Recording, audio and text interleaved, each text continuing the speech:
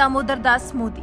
पिछले आठ साल से भारत के प्रधानमंत्री हैं और योग को दुनिया भर में पहुँचाने वाले भी तो यही हैं। योग को अंतर्राष्ट्रीय पहचान पीएम मोदी ने ही तो दिलाई और योग पीएम मोदी के भी जीवन का एक महत्वपूर्ण हिस्सा है।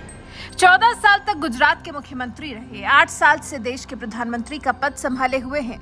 बिना थके, बिना रुके देश को बुलंदियों पर पहुँचाने में दिन रात जुटे हुए हैं। किसके सहारे? योग के सहारे। पीएम मोदी ने अपनी दिनचर्या में योग को कुछ ऐसे शामिल किया हुआ है कि योग उनके जीवन का अटूट हिस्सा है। और दिल्ली के मुख्यमंत्री आरोप लगा रहे हैं, नरेंद्र मोदी सरकार पर योगा क्लासेस बंद करवाने का। मतलब जिस शख्स ने भारतवर्ष की धरोहर योग को दुनिया में स्थान दिलवाया, केजरीवाल के मुताबिक वही पीएम मोदी और उनकी सरकार मिलकर दिल्ली में योगा क्लासेस खत्म करने का दबाव बना रही है। अरे केजरीवाल साहब, बीजेपी को और मोदी को कोस कोस कर आप और कितने नंबर बटोरेंगे? आपके हिसाब से योग को अंतर्राष्ट्रीय बनाने वाले पीएम मोदी इसे दिल्ली में नहीं चलने देंगे। एक बार बोलने से पहले थोड़ा तो आपको सोच ही लेना चाहिए। और साथ ही ये जो आप बात बात पर भीख मांगने की बात करते हैं, ये भी बंद कर दीजिए। आप भारत की राजधानी दिल्ली के मुख्यमंत्री हैं, आपके मुँह से ये बातें शोभा नहीं देती। जबकि आप खुद कबूल कर रहे हैं कि आपके पास देश भर से डोनेशन के लिए कॉल आ रहे हैं तो डोनेशन लीजिए और क्लासेस चलाइए। जिन योगा क्लासेस को बंद करने का आरोप आप बीजेपी पर मर रहे हैं, भाई डोनेशन से जो पैसा आने वाला है, उसी से करवाइए। क्यों हर बात पर भीख मांगने की नौबत आ जाती है केजरीवाल साहब? अरविंद केजरीवाल और उनकी पार्टी ने ही दिल्ली में कोविड से खराब हुए हालात को देखते हुए योगशाला कार्यक्रम शुरू किया था। लेकिन आम आदमी पार्टी का आरोप है कि अब एक नवंबर से बीजेपी ने अफसरों को डरा धमकाकर इस योजना को बंद कराने का आदेश दे दिया है। आम आदमी पार्टी का तो ये भी कहना है कि उन्होंने इस मामले को एलजी के सामने भी उठाया था, लेकिन उपराज्यपाल ने इसे लेकर कोई आदेश जारी नहीं किया।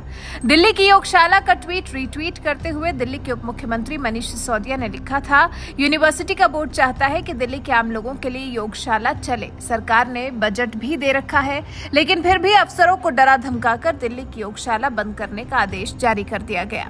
फ़िलहाल कल से दिल्ली के पार्कों में योग की 590 क्लास बंद हो जाएँगी।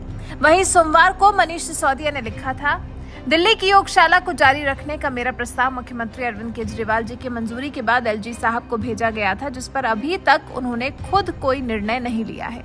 लेकिन इस बीच अफसरों से मुफ़्त योग क्लास बंद करने का निर्णय करा दिया गया है। अब उप मुख्यमंत्री मनीष सिसोदिया ने ट्वीट तो किया ही। साथ ही इस मुद्दे पर आज दिल्ली के मुख्यमंत्री अरविंद केजरीवाल ने प्रेस कॉन्फ्रेंस भी कर डाली।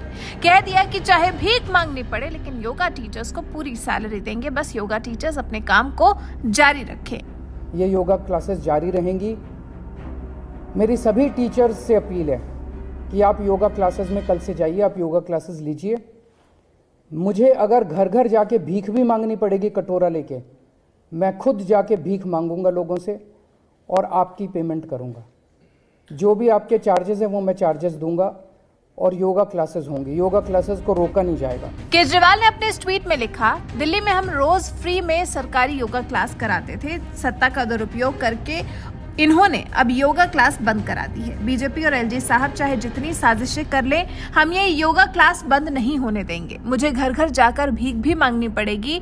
मैं मांगूँगा, लेकिन योगा क्लासेस बंद नहीं होंगी। केजरीवाल यही नहीं रुके। उन्होंने बीजेपी आगे भविष्य में क्या करने वाली है, उसका भी आकलन कर लिया। दिल्ली के मुख्यमंत्री अरविंद केजरीवाल ने लिखा, इन्होंने योगा क्लासेस को रोक दिया। अब ये मोहल्ला क्लिनिक और अस्पतालों में मिल रही फ्री दवाइयों टेस्ट को रोकने वाले हैं। गेस्ट टीचर्स और कच्चे कर्मचारियों को परेशान करेंगे।